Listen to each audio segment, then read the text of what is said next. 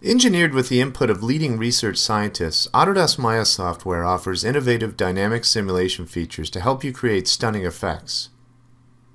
A range of easy-to-use, customizable effects are available in the form of effects assets and can be found in the Maya Visor window. Preset effects include explosions, fire, smoke, rain, fireworks, and basic liquid simulation. They can be quickly imported into your scene, applied to objects, then played and rendered with little or no modification.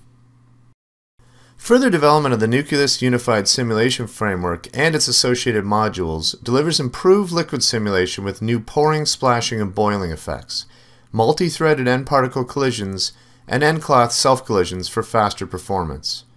A number of new liquids attributes let you generate fluid effects that look and behave like real liquids. New liquid simulation methods let you select a solver that best suits your effect. When Enable Liquid Simulation is turned on, you can select either liquid and air or density-based mass as your simulation method. The liquid min density specifies the density value at which the solver differentiates between liquid and air when the liquid and air simulation method is used. Liquid densities are calculated as incompressible fluids, while air is fully compressible.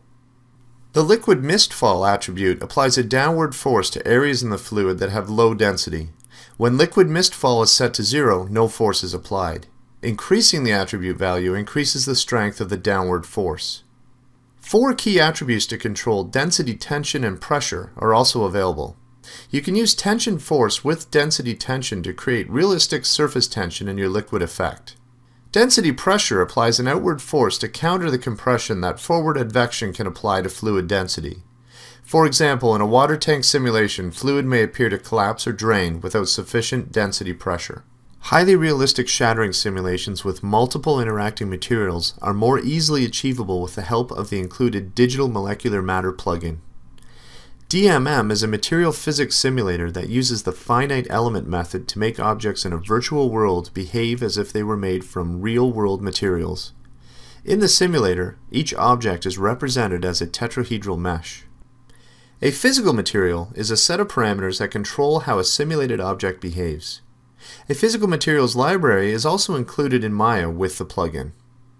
The plugin automatically prepares surface meshes for deformation fracture. The plugin can export DMM objects for import into a game engine containing the DMM simulator. As well, the plugin also contains a DMM simulator so a user can run simulation in Maya to preview how objects will act in a game environment. The plugin lets the user mix Maya animation with DMM simulation and create dynamic animation sequences for replay in a game.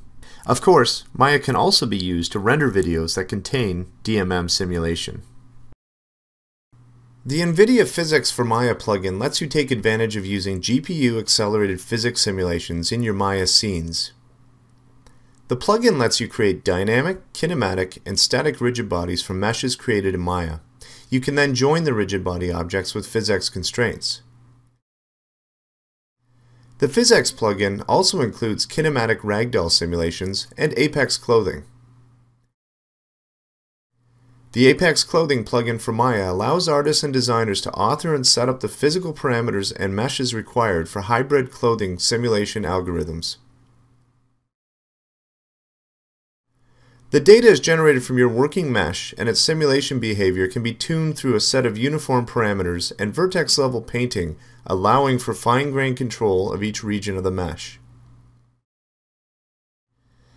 The PhysX plugin for Autodesk Maya is designed to provide a convenient interface to add realistic, GPU-accelerated physics simulations to your project. Running the simulation combines the outcome of the physics calculations with your own predefined animations. The result is displayed entirely within the viewports of Maya in real time.